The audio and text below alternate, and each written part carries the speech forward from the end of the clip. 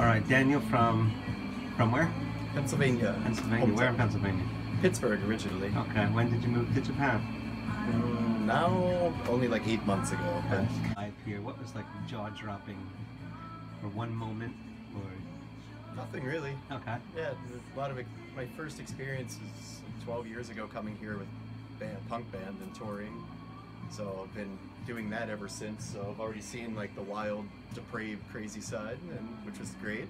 So which which which is crazier, the wild punk scene in Japan or in Pennsylvania? Uh, Japan, I like to party a little more. It depends city by city, but Okay.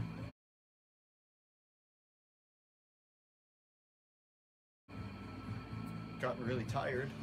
Lost a lot of weight from not sleeping and sitting in a basement festering all day selling beer. Basically, rotting away.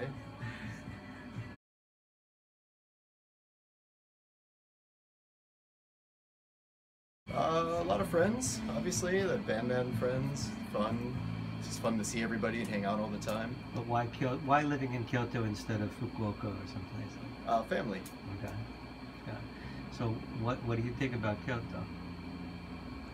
Uh, I dig it. It's more like Midwest style. People are kind of inviting and natural after you get past the initial, you know, cold phase. Okay. But with the music scene, it's not like that at all. But usual Kyoto style, you know, kind of cold at first, and then they open up, and it's like your family for life.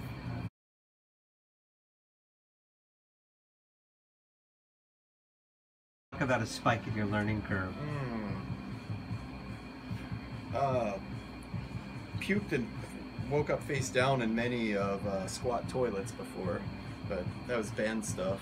Um, saw a really good experience in Osaka one time.